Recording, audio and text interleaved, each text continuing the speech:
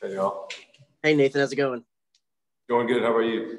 Doing well. Hey, I know last time you were up here, we were talking about how that curveball finally clicked, um, and that kind of made that last outing easy. This is a little bit of a of a different look. It was it tonight. It seemed like maybe your secondary stuff wasn't quite there, but you were able to to, to kind of grind it out and, and still put up a, a quality start.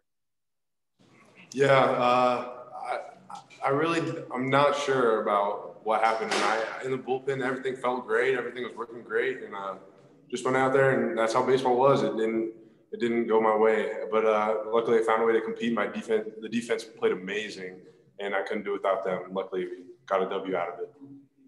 Yeah, I mean, when you kind of feel like that secondary stuff in there is is the idea just keep the fastball low, pitch to contact. Is that kind of what you were looking for? Definitely, that's what I was going for. And uh, without that secondary stuff, it definitely made it a lot more hard. But I, like I said again, the defense worked amazing, and throwing the pitch into contact really worked. Awesome, man. Uh, that's all I got. Thanks. Thank you. Once again, Nathan, your offense comes up uh, big for you. Scores one in the second, one in the third, and the two more in the uh, uh, excuse me, three more in the fourth. Excuse. Uh, so, what does it do for your confidence on the mound? You know, you're having to grind, but they've got your back in play.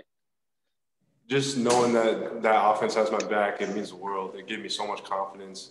Just knowing I could go back out there, even not having my best stuff, I still had that confidence, pitching the contact, and I knew that that defense would work when not when the runs were coming in. And then your defense played stout behind you.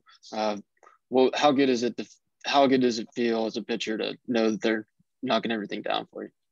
It feels amazing knowing that defense has your back, and it just really again boosts my confidence and uh, whatever I, I know whatever I throw and if they hit it, uh, my defense was going to be there to make a play, and uh, yeah, they played really good again.